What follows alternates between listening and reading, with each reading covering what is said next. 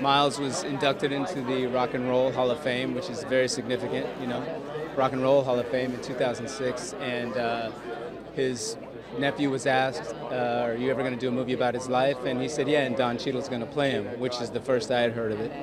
Uh, and we just started on a journey that is now almost 10 years of trying to put this movie together. And, and uh, thankfully, we're here at the New York Film Festival, and it's uh, it's a beautiful thing. Miles Davis starring my work. That would be great. All right. I, I watched him on different movies and it piqued my interest because he, he had certain expressions that reminded me of Uncle Miles. You know, never met him, and we did a press conference, Rock and Roll Hall of Fame 2006. Who's going to play your Uncle Miles? Don Cheadle. He, you know, I, I just felt it.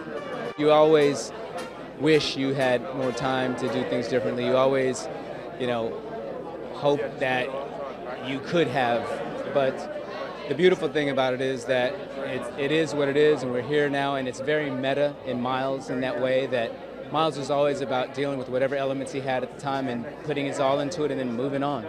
So, you know, whether or not we have these lingering feelings about what ifs and could have beens, it's very meta to, to put it out there and let the audience have it and then move to the next thing. It's not mine anymore. One, two, one, two.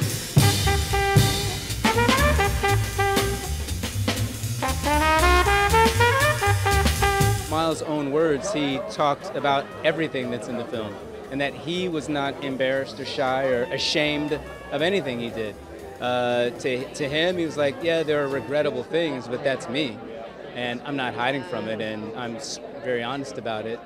Uh, I don't, you know, he didn't move forward with wishes that he had, whatever. He said, this is all a part of who I am. So I, again, feel very um, honored and very fortunate that the family, in the similar spirit, said, yeah, show, show everything.